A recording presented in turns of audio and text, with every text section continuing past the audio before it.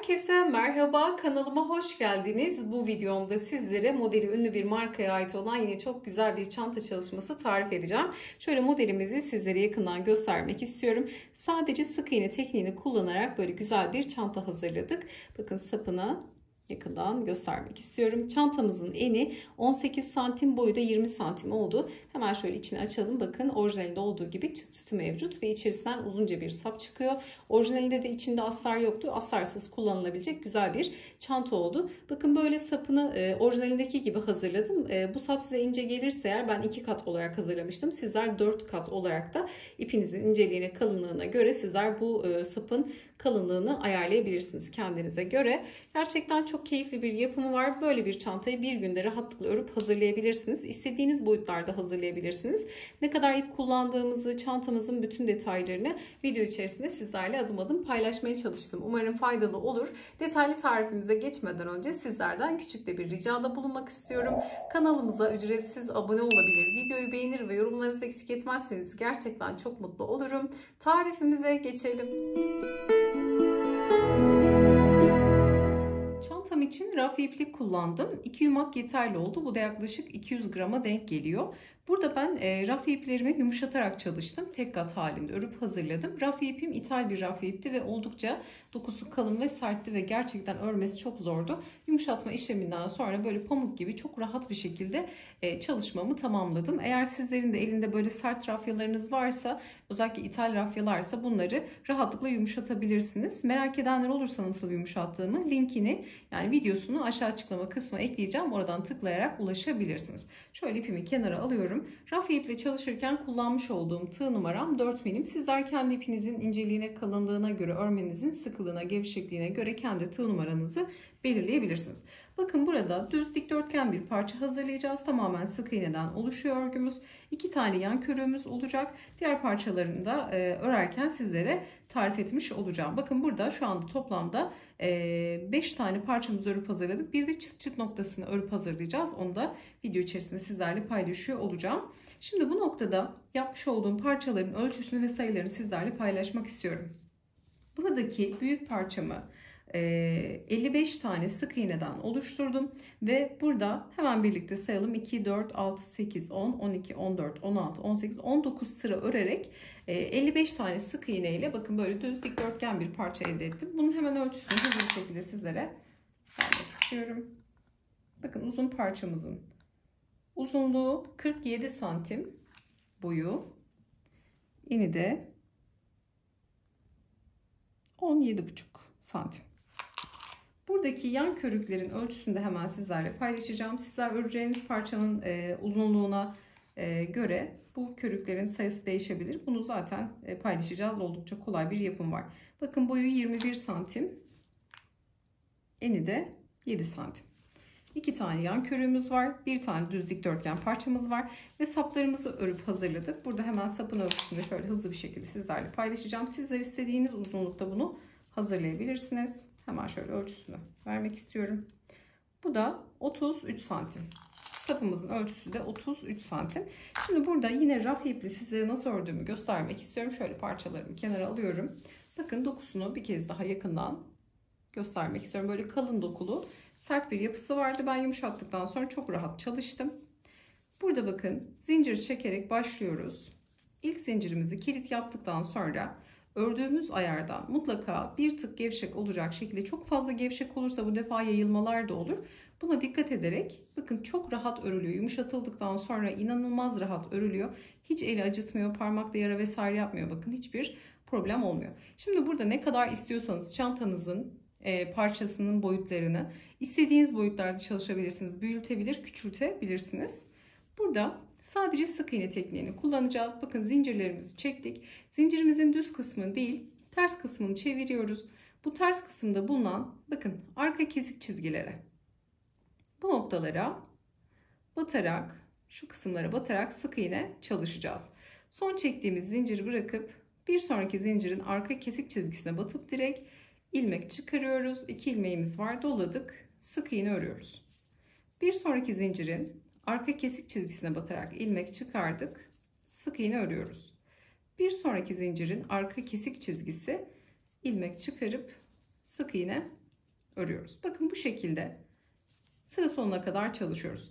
Eğer burada ölçünüzü e, tahminen kaç zincir çekeceğinizi bilmiyorsanız eğer zincirlerinizi fazla fazla çekin. Artan zinciriniz olursa keserek ya da sonradan sökerek de çıkartabilirsiniz. Örneğin burada şu e, zincir arttı düşünelim. Burada hemen şöyle söküp ipimizi çıkartıyoruz. Eğer burada çok fazla ipiniz artarsa e, bu ipi sökerek çıkartırsanız en son kenar e, yapımında kullanabilirsiniz. Bakın burada son zincir artık şu şekilde çıkartıp burada kilit yapıyoruz. Bu şekilde artan zincirlerinizi sökerek bu şekilde ya da eğer sökmekle uğraşmak istemezseniz keserek de çıkartabilirsiniz. Şimdi burada yeteri kadar sık iğnemizi ördük. Ne kadar istiyorsak uzunluğunu. İlmeğimizi hafif esnetiyoruz. E, son sık iğneden sonra ilmeğimizi hafif esnetip direkt örgümüzü çeviriyoruz. Zincirsiz dönüşler yapıyoruz.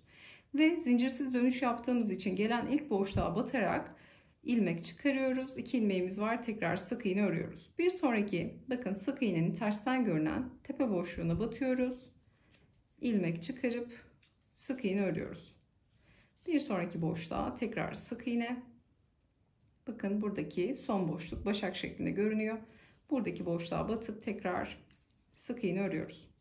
Tekrar ilmeği esnetip örgümüzü çeviriyoruz. Gelen ilk boşluğa batarak ilmek çıkarıp sık iğne örüyoruz. Bu aşamada eğer çok hızlı ördüğümü düşünüyorsanız videoyu yavaşlatabilir ya da tam tersi hızlandırarak da seyredebilirsiniz. Bakın oldukça rahat örülüyor. Yumuşatıldıktan sonra e, hatta kağıt ipten daha rahat örülüyor diyebilirim. Böyle sert rafya ipleriniz varsa e, yani e, bunlar yumak halinde satılıyor. E, örüldüğü zaman yani gerçekten çok sert ama yumuşatıldıktan sonra inanılmaz rahat bir örümü var. Bu şekilde boyutunu ne kadar istiyorsanız bakın sadece sık iğne çalışarak bu yan körüğünü düz parçamızı ayarladık. Şimdi istiyorum ki hemen e, sapımızı da şöyle hemen sökeceğim. Bakın çok kolay sökülüyor. Şuradaki şöyle sapı göstereceğim. Nasıl yaptığımızı hemen sizlerle paylaşmak istiyorum. Ben e, sapı dikmek için çantaya iki kısmında da başlarken de bitirirken de uzun ipler bıraktım çantamıza monte edebilmek için. Böyle uzun ipler bırakıyorum yeteri kadar. Hemen yine zincirle başlangıcımızı yapıyoruz. Birinci zinciri çektim. 2, 3 tane zincir çekiyorum. Sonra bakın ikinci zincirin içine sonra ilk zincirin içerisine batarak şöyle iki noktaya batıp buradan ilmek çıkarıyorum. 2 ilmeğim var doladım. Sık iğne örüyorum. Çeviriyorum örgümü. Hemen şurada bakın. Bir, iki nokta var. Şu iki çizgiye batıyorum. ilmek çıkarıp tekrar iki ilmek var. Sık iğne örüyorum. Örgümü çeviriyorum. Bakın şurada iki tane çizgi var. Bu iki çizgiye batıp ilmek çıkarıp sık iğne örüyorum. Tekrar çevirdim. Hemen bakın yaptığımız sık iğnenin şöyle düz hemen sağ tarafında kalan bakın. Çeviriyorum. Bir, bu iki çizgiye batıyorum. İlmek çıkardım. Sık iğne örüyorum. Tekrar çevirdim. Bakın bu şekilde bu iki noktaya batıp sık iğne çalışıyoruz. Sadece şu iki çizgiye hemen sık iğnenin yanında bulunan bakın sık iğneyi yaptıktan sonra çeviriyoruz. Hemen sağ tarafında bulunan bu iki çizgiye batıp tekrar ilmek çıkarıp sık iğne. Yine sadece sık iğne ile bakın bu şekilde sapımızı hazırlıyoruz. İki tane de sapımızı hazırladık. Şimdi artık istiyorum ki e, yan körüklerimizi örmüş olduğumuz e, büyük parçamıza monte edelim. Ben ilk ördüğüm e, körükte bu arada ördükten sonra parçalarımı ütüledim. Buhar ütüyle iki tarafını da ütüledim. Hiçbir bakın sorun yok. Gayet de güzel muntazam duruyor. Eğer elinizde düzlediğiniz zaman yeteri kadar düzgün olduğunu düşünmüyorsanız ütüleme yapabilirsiniz. Ama ütüleme yapmak zorunda değilsiniz ütüleme yapmadan da çantanızı bitirebilirsiniz. Ama ben ütülemek istedim. Şimdi burada ilk körüğümü örerken ipleri kopartmıştım. İkinci körükte bakın ipim burada kaldı. Şimdi bunu da kaç sıra örmüştüm? 24 tane sık iğneyi 8 sıra örerek tamamladım. Bunu da zaten ölçülerini sizlerle paylaşmıştım. Ama dediğim gibi burada sık iğne sayısı önemli değil. Çünkü aynı ipi aynı tığ numarayı kullansak dahi ve aynı sayılarla yapsak sizin ölçünüz belki biraz az belki biraz fazla olabilir. Bu da örme sıkılığımız ve gevşekliğimizden kaynaklı olarak değişecektir. O yüzden sizler kendi ölçünüze, kendi elinize göre yaparsanız istediğiniz e, ölçülerdeki e, çalışmayı kendinize göre ayarlayın. E, burada yani buradaki sık iğne sayılarına hiç takılmayın. Şimdi burada bakın şöyle düz kısmı burası ters kısmını çeviriyorum. Bu kısımda şöyle ya da şuradan da bakın hemen getireceğiz şu kısımda şöyle bu tarafa yan körü birleştirmiş olacağız. Şu şekilde tutuyorum. Bakın ilmeğim e, burada. Ben içeriden birleştirme yapacağım. Yani dış kısımda ama e, körün iç noktasından. Yani dışarıdan birleştirme yapmayacağım. Şimdi ipim burada. Bakın ilmeğimi taktım tığıma. Hemen gelen ilk boşluğa batıyorum. Körümdeki ve çantamdaki hemen buradaki ilk noktaya batıp buradan şöyle bir ilmek alıp almış olduğum ilmeği bekleyen ilmekten kaydırarak geçiriyorum. Bir sonraki bakın boşluğa batıyorum ve buradaki çantamın büyük parçasına batıp buradan ilmek çıkarıp kaydırma yapıyorum. Sizler isterseniz sık iğne ile de birleştirme yapabilirsiniz. Ben içeriden kaydırmayla birleştirmek istedim. Çantanın biraz orijinal incelediğimde sık iğne ile de geçilmiş. Çünkü iki markada da vardı bu çantanın aynısı. E, dikiş makinesinde dikilerek de yapılmıştı. Yani iki türlü de yapılabilir. Eğer böyle e, tığla birleştirmek istemezseniz eğer makinede dikerek de birleştirebilirsiniz.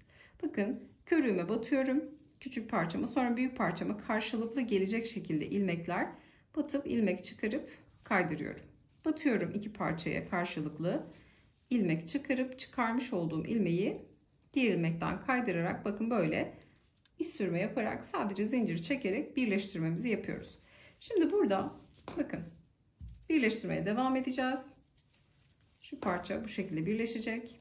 Bu kısa kenarda aynı şekilde diğer kalan kenarı da birleştirerek yan körü tamamlamış olacağız. Sonra diğer parçayı bakın buraya geldiğim zaman ipimi kopartacağım. Sonra diğer hazırlamış olduğum parçayı da burada birleştirdiğim gibi diğer tarafa da birleştirerek burada e, köşelenmelerde herhangi bir yani çift batma noktası olmayacak. Her bir yere bir kez batarak böyle zincirle birleştirmemizi yapmış olacağız. Körükleri tamamlayalım. Bir sonraki aşamaya birlikte devam edelim. Burada ikinci körümü de birleştirdikten sonra şimdi bakın ipimi burada kopartmıyorum. Diğeri de kopartmıştım. Burada kopartmıyorum. Şimdi bir zincir çekerek yukarı çıkıyoruz.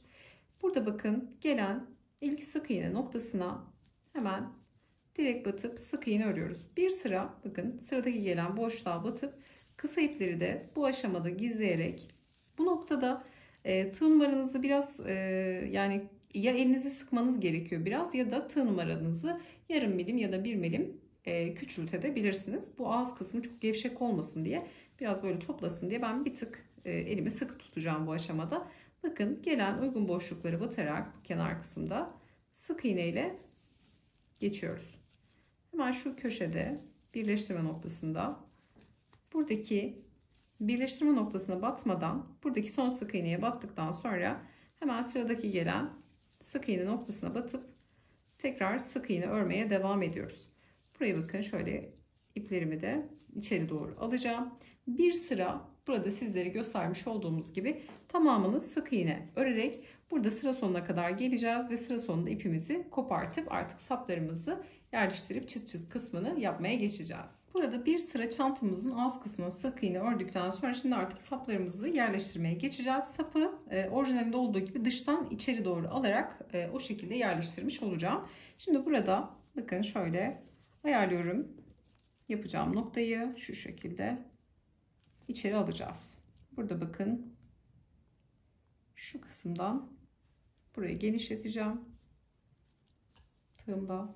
Burada kısa ipimi zaten e, uzunca bırakmıştım dikmek için. İpimi burada geçiriyorum. Birazcık bakın içeri alacağım sapı. Şöyle bir tık içeri alacağız. Diğer kısımda da aynı şekilde ayarlıyorum. Bakın sapı biraz da içeri çekiyoruz. Şöyle iç kısımda da göstermek istiyorum. Şöyle bir tık içeri alacağım. Çok fazla almayacağız. Bakın burada biraz fazla almışım. Bunu ayarlayarak şöyle bir tık bunun mesafesini sizler kendinize göre ayarlayabilirsiniz. Bakın bu şekilde yaptıktan sonra hemen bir etamin iğnesi yardımıyla burada ipimi kısa bırakmış olduğum ipi iğneme takıyorum. Bakın çok fazla bırakmadım. Bunu hemen burada sabitliyorum. Buradaki etamin iğnesi yardımıyla çantama monte ediyorum. Hem burada sapa batacağım hem çantama batıp sağlam olmasını sağlayacağım. Çantamızın çıt çıt kısmını tamamlayacağımız için çıt çıtlarımızı yerleştireceğimiz iki tane yuvarlak parça öreceğiz. Bunun için işe ilk olarak sihirli halka ile başlangıç yapıyoruz. Aramızda yeni başlayanlar varsa sihirli halka nasıl yapılır? Daha önceden detaylı videosunu paylaşmıştım. Videomuzun açıklama kısmına linkini ekleyeceğim. Oradan tıklayarak ulaşabilirsiniz. Zincirimizi çektikten sonra halka içerisine batarak ilmek çıkarıyoruz. Sık iğne örüyoruz. Tekrar direkt batıp ilmek çıkarıp sık iğne örüyoruz. Şimdi halkamızın içerisine 3 4 5 6 tane sık iğne ördükten sonra bu sihirli halkadan kalan kısa ipi çekebildiğimiz noktaya kadar çekeceğiz ve bakın ilk sık iğnenin tepe boşluğu burası. Bunu biraz şöyle elimle e, tığımla açıyorum ki şimdi ipi çektiğimiz zaman bir tık e, orası sıkılanacak. Bu arada sihirli halkayı kontrollü bir şekilde çekmemiz gerekiyor ki kısa kalan ipi kopabilme ihtimali var ipimizin. Şimdi burada hemen ilk sık iğnenin tepesine tekrar batıyorum. Kısa ipi tığ üzerine aldım. Bu noktadan ilmek çıkarıp diğer ilmeğimden kaydırarak geçiriyorum. Burada bir zincir çekerek aynı boşluğa geliyorum. İlmek çıkarıp tekrar sık iğne örüyorum. Tekrar aynı boşluğa batıp ikinci sık iğne örüyorum. Bir sonrakine bir tane sık iğne örüyorum. Bakın burada bir çift bir tek yapmış oldum. Bir sonrakine iki tane sık iğne örüyorum. Bir, iki, bir sonrakine bir tane. Eğer sizde bu nokta içe doğru kapanırsa her birine iki tane de batabilirsiniz ama bu parçayı çok büyük yapmak istemediğim için ya da daha az e, sık iğne ile de başlayabilirsiniz. Bir tek bir çift yapmış oluyorum. Yani çift ne demek? Aynı deliğe iki tane sık iğne demek. Şimdi bu noktada bakın hem kısa ipi gizledim. Bir sonrakine tek battım. Şimdi çiftten sonra tek bir sonrakine de bir tane sık iğne öreceğim. Sonra gizleme yapacağım için bakın bu parça benim için yeterli. Bu da yaklaşık şöyle bakın çıt çıtımın böyle yerleşeceği kadar olması benim için yeterli. Yani çok büyük olmasına gerek yok. Santim olarak da ölçüsünü verecek olursam merak edenler için. Bakın böyle 3 santimlik bir parça örüyoruz. Yuvarlak parça örüyoruz. Şimdi burada ipi birazcık uzun keseceğim. Çünkü e, sonra bu uzun iple çantamıza monte edeceğiz. Direkt ipimi çıkardım. Bakın ağız kısmında da bu bitişi yapmıştım. Hemen bir sonraki yani sıradaki gelen ilk sık iğneye batıyorum. Direkt sık iğneden ilmeği çıkardım. Buradan geçiriyorum ipimi. Sonra son ördüğüm sık iğnenin bakın arka kesik çizgisi şöyle tığımla batıyorum ve arka tek kanatına batıp çıkarmış olduğum bu ipi tekrar tığımın ucuna alarak bu noktadan geçiriyorum. Ve bakın her yeri böyle başak başak olmuş oluyor. Sonra bakın bu parçamı uygun boşluklardan geçiriyorum. Dişleri var zaten. Hemen şöyle ara noktalardan ipi kesmeden çıkarıyorum. Bu şekilde bakın dişlerini geçirdim. Böyle pulları var yanında. Hemen pulla daha sağlam olması için bu pulu kapatıyorum. Ve bir makas yardımıyla bu dişleri içe doğru kapatıyorum.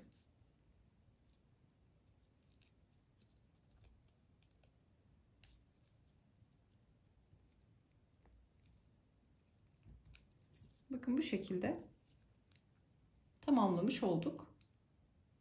Şimdi aynı işlemi, bu yapmış olduğum işlemi diğerinde de uygulayarak sonrasında bu parçayı çantamıza monte etmeye geçiyoruz.